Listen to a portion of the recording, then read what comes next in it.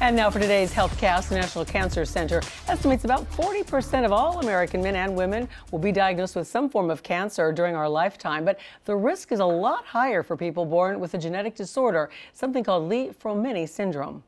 This?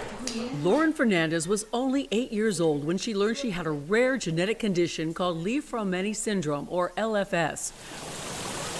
Her mother, Margie, suspected something was wrong after Lauren's father was diagnosed with cancer several times. My mom, being a nurse, she was alarmed and she figured it out. A child born to a parent with LFS, in this case Lauren's dad, has a 50% chance of inheriting the mutation that predisposes patients to a number of different types of cancers. What it is is our, our tumors are regulated by oncogenes and repressor genes. And when you have a repressor gene that is damaged, which is what it is in Li-Fraumeni syndrome, the P53, uh, there's a higher incidence of you developing a malignancy. Dr. Guillermo De Angulo with Nicklaus Children's Hospital says about 50% of patients with LFS develop a malignancy before the age of 40, 90% of them before the age of 60.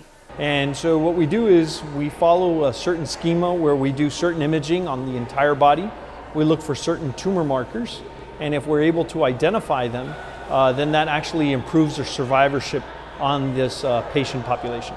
Lauren undergoes annual body scans, MRIs of her brain, ultrasounds of her abdomen, and regular visits to a dermatologist and an ophthalmologist.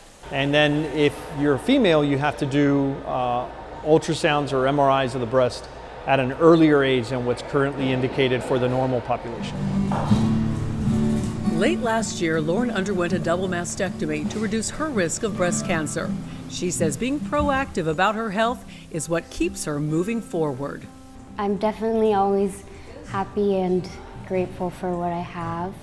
Um, I love adventures and experiencing new things, just like living life.